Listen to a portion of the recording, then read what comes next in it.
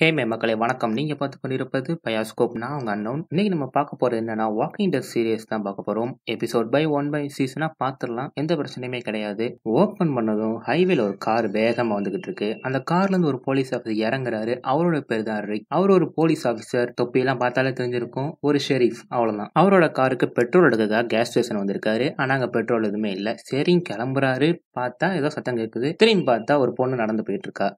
அந்த பொண்ணுகிட்ட ஹெல்ப் கேட்கலாம் சொல்லி அந்த பொண்ணை கூப்பிடுறாரு. ஆனா பொண்ணு திரும்பவே இல்லை. மறுபடியும் கூப்பிடுறாரு அந்த பொண்ணு திரும்பவே இல்லை. நான் போலீஸ் தான் தைரியமா திரும்ப அப்படின்னு சொல்றாரு. திரும்பி பார்த்தா அது ஒரு ஜாம்பி அந்த பொண்ணு ஒரு தயக்கத்தோட கொண்டுட்டு பொண்ணு கிடையாது ஒரு ஜாம்பியை தயக்கத்தோட கொண்டுட்டு அங்க அப்படியே டைட்டில் போடுறாங்க த வாக்கிங் டெத் இதோட பேக்ரவுண்ட் தீம் ரொம்ப நல்லா இருக்கும். வேணா யூடியூப்ல அவைலபிளா இருக்கு கேட்டு பாருங்க. இப்போ ஓபன் பண்ணா நம்ம ரிக்கும் அவரோட ஃப்ரெண்ட் ஷேனும் வந்து சாப்பிட்டுக்கிட்டு இருக்காங்க. நம்ம ரிக் வந்து நம்ம ஷேன்ட்ட கேட்கிறாரு ஆணுக்கு பெண்ணுக்கு என்ன வித்தியாசம் அப்படின்னு சொல்லி கேட்கிறாரு நம்ம ஷேன் அதுக்கு வேற லெவல் எக்ஸ்பிளேஷன் கொடுக்குறாரு. ஏன்னா அவர் பிளே பாய் ஏன் அவர் பிளே பாய் அப்படிங்கறத அப்புறமா சொல்றேன். இவங்க அப்படி ஒருத்தர் ஒருத்தர் பேசிட்டு இருக்கும்போது ஷேன் வந்து ரிக்ட்ட கேக்குறாரு. உன்னோட லோரியோட வாழ்க்கை எப்படி போகுது? அப்படின்னு சொல்லி கேக்குறாரு. அதுக்கு நம்ம ரிக் வந்து ரொம்பவே அப்செட் ஆகி ரொம்ப மோசமா போய்கிட்டு இருக்கு. இப்படியே போனா என்ன ஆக போகுதுன்னு தெரியல. எல்லாமே காரலுக்காக தான் பாக்குறேன் அப்படின்னு சொல்றாரு. காரல் யாரா நம்ம ரிக்கோட பையன். ரிக் வந்து லோரி மேல குருட்டுத்தனமா லவ் வச்சிருப்பாரு. ஆனா லோரி வந்து அதை புரிஞ்சுக்கிறாம எப்படின்னா ஒரு ஈகோ பிடிச்ச கேரக்டர் அதான் அகம் பிடிச்ச கலந்த மாதிரி இருந்திருப்பாங்க அவங்க. எஸ் இது குஷி படத்தோட சிங்க் ஆகுதுல அந்த சீனே அந்த மாதிரி தான் இருக்கும். இதுவுமே அது மாதிரி தான் இருக்கு. சரி நம்ம கதைக்குள்ள போயிடலாம். தன்னோட நண்பனோட வாழ்க்கை இந்த மாதிரி ஆயிடுச்சு அப்படின்னு சொல்லிட்டு ஷேனு ஃபீல் பண்றாரு. இப்படி மாறி மாறி ரெண்டு பேர் ஃபீல் பண்ணிட்டே இருக்கும்போது உங்களுக்கு வாக்கி டாக்ல இருந்து வேலை வந்துருது. என்னன்னா ரெண்டு சஸ்பெக்ட் கார்ல தப்பிச்சு வந்துட்டு இருக்காங்க. அவங்கள ரோட்ல பிளாக் பண்ணுங்க அப்படின்னு வருது.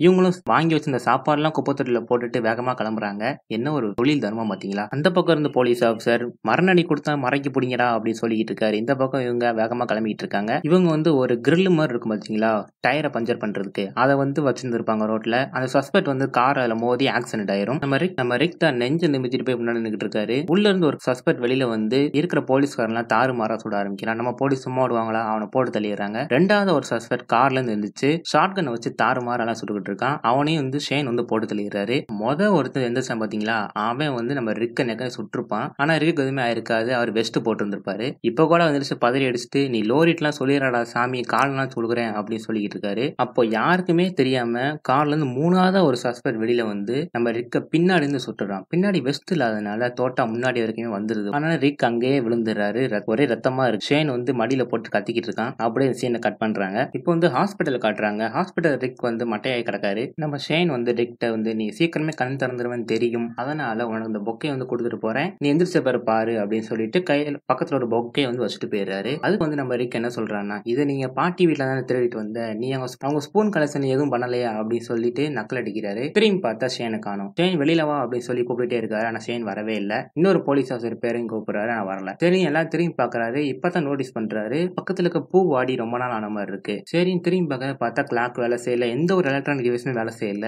ஏன்னா மாசம் ரொம்ப மாசம் தள்ளி போன மாதிரி இருக்கு இருக்கு. அப்படியே பதறி அடிச்சுட்டு வெளியே வந்து பாக்குறாரு பார்த்தா ஹாஸ்பிட்டல் ஏதோ பெரிய சண்டை நடந்த மாதிரி இருக்கு. ஒவ்வொரு இடமா பார்த்துட்டே வராரு. அங்க ஒரு தீப் லைட்டர் மட்டும் கிடைக்குது. அதை மட்டும் எடுத்துக்கிறாரு கையில. அப்படியே அந்த ஃப்ளோர்ல நடந்து போயிட்டே இருக்கும்போது டோன்ட் ஓப்பன் டெத் இன்சைட் அப்படின்னு சொல்லி ஒரு இதுல எழுதி இருக்கு. அது என்னடான்னு பார்த்துட்டே இருக்கும்போது உள்ள இருந்து ரெண்டு கை வெளியில வந்து இவர் பிடிக்க வருது. அதை பார்த்து பயந்த நம்ம ரிக் வேகமா பதறி அடிச்சு கீழே ஓடி வராரு. உள்ள வைக்க இடமே இல்லாம நிறைய பேர் அப்படியே வெளியிலயும் போட்டு வச்சிருக்காங்க. அங்க இருக்கிற மனுஷங்களோட முகத்தெல்லாம் பார்த்தா அழுகி போய் ரொம்ப நாள் ஆன மாதிரி இருக்குது. அதெல்லாம் பார்த்துட்டு வெளியில வந்துட்டே இருக்காரு. அவரோட வீட்டுக்கு போகலாம் அப்படின்னு சொல்லி டிசைட் பண்ணிட்டு அங்க இருக்க ஒரு சைக்கிள் எடுத்துட்டு கிளம்புறாரு. அந்த சைக்கிள் பக்கத்துல ஒரு ஜாம்பி வந்து இடுப்பு கீழே எதுவுமே இல்லாம இருக்கு. அதை பார்த்து பயந்துடுறாரு. வேகமா அங்க இருந்து கிளம்பி வீட்டுக்கு போய் காரல் லோரியும் கத்தி கூப்பாடு போட்டு தேடிட்டு இருக்காரு. ஆனா யாருமே அங்க இல்ல. எல்லாருமே கிளம்பிட்டாங்க. இந்த மாதிரி நேரத்துல நம்ம ஃபேமிலியோட இல்லையே அப்படின்னு சொல்லி ரொம்பவே ஃபீல் பண்ணிக்கிட்டு இருக்காரு. இப்பதான் கோமால நெரிசனால அவருக்கு மயக்கமா வேற வருது. மயங்கிறாதா மயங்கிறாதான்னு சொல்லிட்டு அவரே அவரை அடிச்சுக்கிட்டு வெளியில போய் உட்காடுறாரு வெளியில உட்காந்த பிறகு தூரத்துல ஆள் நடந்து வந்துட்டு இருக்காரு. அவர்கிட்ட ஹெல்ப் சொல்லிட்டு கையை தூக்கி கூப்பிட்டுக்கிட்டு இருக்காரு. அந்த நேரத்துல ரிக் பின்னாடி இருந்து ஒரு உருவம் வந்து அட்டாக் பண்ணுது. ஒரு அடி தான் ரிக் அங்கேயே கீழே வந்துடுறாரு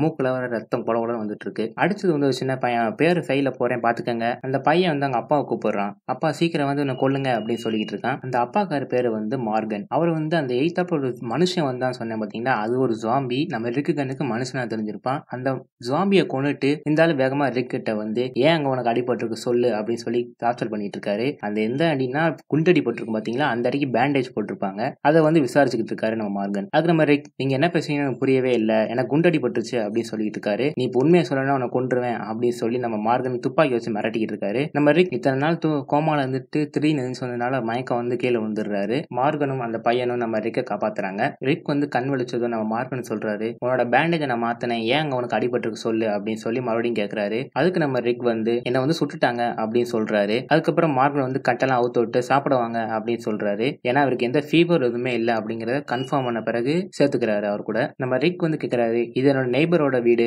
இங்க நீங்க என்ன பண்றீங்க அப்படின்னு சொல்லி கேட்கறாரு நாங்க வரும்போது இங்கே யாருமே இல்ல அதனால நாங்க இங்க இருக்கோம் அப்படின்னு சொல்லி மார்க்கன் சொல்றாரு. அதுக்கப்புறம் ரிக் கேட்கறாரு இன்னைக்கு நீங்க ஒரு ஆளை கொண்டீங்க நான் பார்த்தேன் அப்படின்னு சொல்றாரு. அது வந்து மனுஷங்களே கிடையாது அது மிருகம் அதை கொள்ள அது உன்னை சாப்பிட்டுட்டு போயிடும் அப்படின்னு சொல்றாரு. நம்ம ரிக் வந்து ஆச்சரியமா கேட்டுக்கிட்டு இருக்காரு. சாப்பிட போறதுக்கு முன்னாடி நம்ம ரிக் எல்லாருமே சேர்ந்து ப்ரேயர் பண்ணி சாப்பிட ஆரம்பிக்கிறாங்க. சாப்பிட்டு முடிச்ச பிறகு மார்கன் வந்து எல்லா விஷயம் சொல்றாரு. லைட் அட்ராக்ட் பண்ணுவது சவுண்டை வந்து அட்ராக்ட் பண்ணும். இந்த மாதிரி சின்ன சின்ன விஷயங்கள் வந்து ரிக்டர் சொல்கிறாரு நம்ம ரிக் அது அந்த ஹாஸ்பிட்டல் இந்த மாதிரி தான் இங்கேயும் இருக்கா அப்படின்னு சொல்லி கேட்குறாரு இல்லை அந்த உலகம் பூராவே எப்படி தான் இருக்கு அப்படின்னு சொன்னாரு. கொஞ்ச நாள் முன்னாடி தான் வந்து கம்யூனிகேஷன் கவர்மெண்ட் வந்து கட் ஆச்சு. என்ன என்ன நடக்குதுன்னே வெளியில் தெரியவே இல்லை அப்படின்னு சொல்கிறாரு நம்ம ரிக் வந்து ஃபீல் பண்ணுறாரு இந்த மாதிரி நிலைமையில வந்து நம்ம ஒய்ஃப் கூடயும் பையன் கூட இல்லாமல் போயிட்டோமே. எங்கே இருக்காங்கன்னே தெரில சொல்லி ஃபீல் பண்ணுறாரு உட்காந்துருக்காங்க அப்போ வந்து நம்ம மார்கன் கேட்குறாரு உங்களுக்கு ஏன் அடிபட்டுச்சு? அங் அவர் என்ன பேங்க கொள்ளடிக்க போனாரா? குண்டடிப்பட்டிருக்கு அப்படின்னு சொல்லி கேட்க சொல்லியிருப்பான் அதை மார்கன் வந்து கேட்குறாரு அதை வந்து மார்கன் கேட்குறாரு அதுக்கு நம்ம ரிக் வந்து சிரிச்சுக்கிட்டே நான் வந்து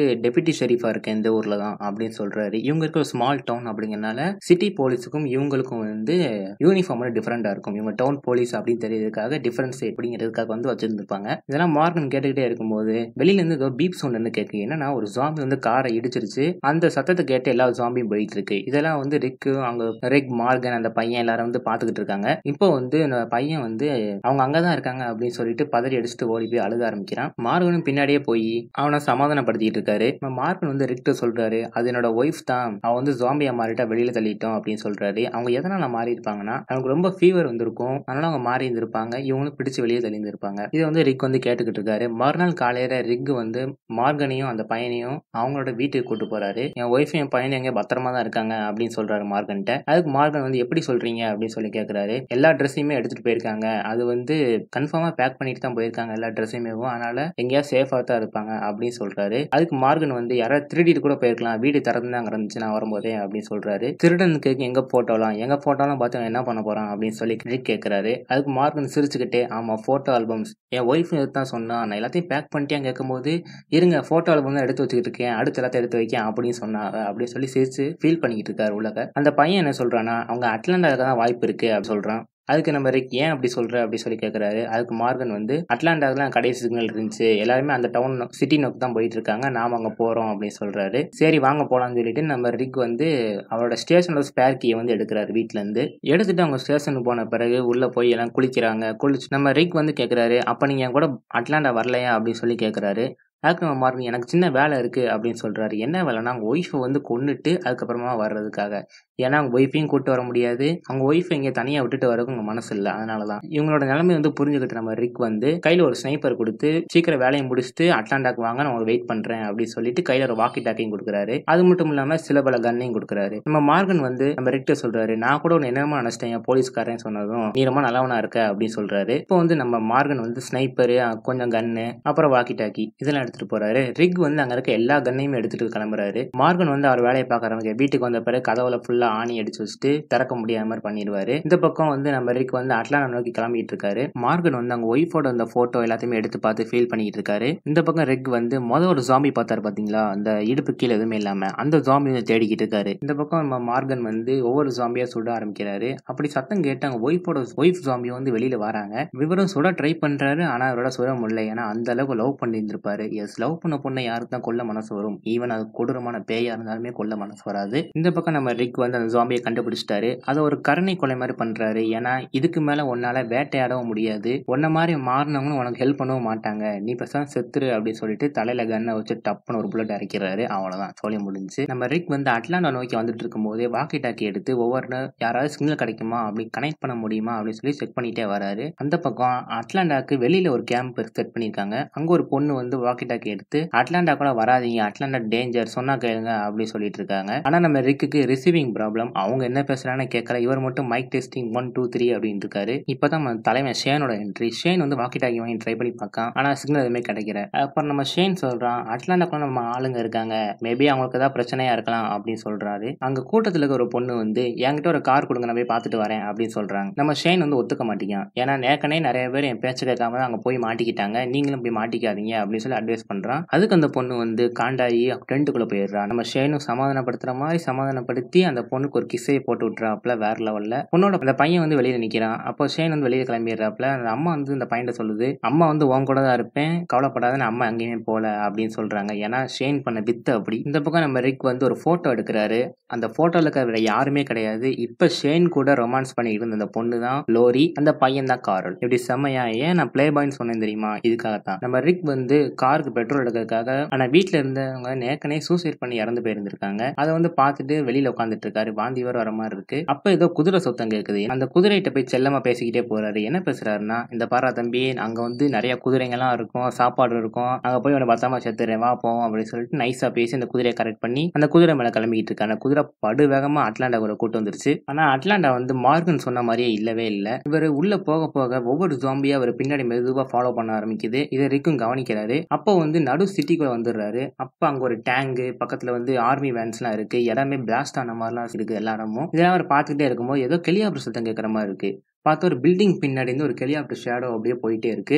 கிட்ட வச்சு தெளிவா பாத்துடலாம் அப்படின்னு சொல்லிட்டு வேகமா போறாரு. ஒரு டேனிங் திரும்ப பார்த்தா அந்த ஊர்ல இருக்க மொத்த ஜாம்பி அங்கதான் மீட்டிங் போட்டிருக்கு. நம்ம ரிக்கையும் குதிரையும் பார்த்து வந்து விரட்ட ஆரம்பிக்குதுங்க. நம்ம ரிக்கும் பின்னாடி விட தப்பிச்சு போயிடலாம்டா அப்படின்னு சொல்லிட்டு வேகமா போறாரு. பார்த்தா பின்னாடி விண்ணக்கனே ஃபாலோ பண்ணிட்டு வந்து ஜாம்பி எல்லாம் வந்து ஒரு அணை கட்டியதுங்க அவ்வளவுதான்டா மொட்டை நம்ம நல்லா மாட்டி விட்டான்டா அப்படின்னு சொல்லிட்டு அங்கிட்டு இங்கிட்டு பார்த்துட்டு இருக்கும்போது ஒரு ஜாம்பி வந்து குதிரை பிடிச்சு இழுக்க ஆரம்பிக்கு அதை தொடர்ந்து மத்த ஜாம்பி எல்லாம் குதிரை பிடிச்சு இழுத்து இருக்க கீழே தள்ளி அந்த குதிரையை மர்கையா பண்ணி நம்ம ரிக் வந்து தப்பி தப்பிக்கிறதுக்காக அங்கிட்டு இங்கிட்டு ஓடிட்டு இருக்கும்போது அவரோட வெப்பன் இருந்த பேக்கை வந்து மிஸ் பண்ணிடுறாரு. தூரமா தள்ளி போயிருது. இவரும் பீரிங் கடையில் போய் ஒளிஞ்சுக்கிறாரு. பீரிங் கீழேயும் மேலேயும் ஜாம்பி வர ஆரம்பிச்சதுங்க. அந்த துப்பாக்கில இருக்கிறது ஆறு புல்லட் தான். அந்த ஆறு புல்லட் தீர்ற வரைக்குமே சொல்றாரு. கடைசி ஒரு புல்லட் இருக்கும்போது வசமா மாட்டிக்கிட்டோம். நம்ம செத்துடலாம் சொல்லிட்டு சூசைட் பண்ண ட்ரை பண்றாரு. பீரிங் கீழ இருந்து ஒரு ஓட்டை இருக்கு. அது வழியா மேலே ஏறிடுறாரு. மேலே ஏறிட்டு அங்க ஒரு ஜாம்பி இருக்கு. ஆனா அது தூங்கிக்கிட்டு இருக்கு. இவர் தெரியாம செத்து போச்சோன்னு நினைச்சிட்டு அதுக்கு கண்ணை பிடிங்கிட்டாரு. பார்த்தா கோவத்துல அவருக்கு அடிக்க வர அதையே போட்டு தள்ளிட்டு வெளியில வந்து பார்த்தா பார்த்தா அவரோட பேக் ரொம்ப தூரம் தள்ளி கிடக்கு. அப்படியே வந்து ஜாம்பியோட மிருதன் படத்துல வந்து இன்டர்வல் சீன்ல மொக்கி பாத்தீங்களா? அந்த மாதிரி முக்கிய ஆரம்பிக்குது பீரங்கிய. அப்படியே நம்ம ட்ரிக் வந்து கீழே பீரங்க போய் செட்டில் ஆயிராரு கோச்சரா தப்பிக்கவே முடியாது அப்படின்னு சொல்லிட்டு கையில ஒரே ஒரு கன்னு அதுல எத்தனை புல்லட் இருக்குன்னு பதினஞ்சு புல்லட் அவ்வளவுதான் இருக்கு. அதையும் பார்த்துட்டு உட்காந்துட்டு இருக்காரு. அப்ப பீரங்கில இருந்து ஒரு வாக்கி டாக்கி இருக்கும் பாத்தீங்களா? அதுல இருந்து சத்தம் வருது.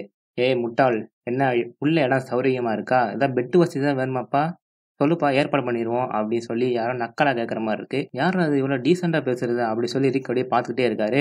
அப்படியே கேமரா டாப் ஆங்கில் கொண்டு வந்து காட்டுறாங்க. ஜாம்பி வந்து அந்த குதிரையை முடிச்சிருச்சு. நம்ம ரிக்கு முடிக்கிறதுக்காக அந்த பீரங்கியை உடைக்க ட்ரை பண்ணிக்கிட்டு இருக்குங்க அப்படியே அந்த சீனை கட் பண்ணுறாங்க ஓப்பனிங்கே தாறு மாற இருந்துச்சா இதை விட அப்கமிங் சீசன்ஸ் எபிசோட்ஸ் வேற லெவல்ல இருக்குங்க. இதெல்லாம் தொடர்ந்து மிஸ் பண்ணாம பார்க்கணும்னா நம்ம சேனலை மறக்காம சப்ஸ்கிரைப் பண்ணிக்கங்க. பிடிச்சா லைக் பண்ணுங்க கமெண்ட் பண்ணுங்க. எந்த பிரச்சனையுமே கிடையாது. குறிப்பாக உங்கள் ஃப்ரெண்ட்ஸ்க்குலாம் ஷேர் பண்ணுங்க. ஏன்னா நன்றி மக்களை. நாளைக்கு பார்க்கலாம்.